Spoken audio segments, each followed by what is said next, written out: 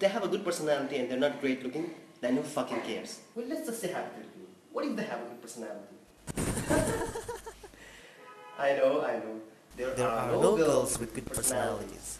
A good personality consists of a chick with a little hard body who will satisfy all sexual demands without being too slutty about things and who essentially will keep her dumb fucking mouth shut.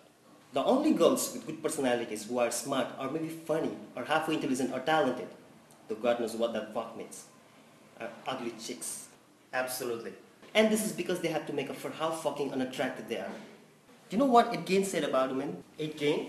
Maitre d' at Canal Bar? No, serial killer, Wisconsin in the 50s. So what did Ed say? He said, when I see a pretty girl walking down the street, I think two things.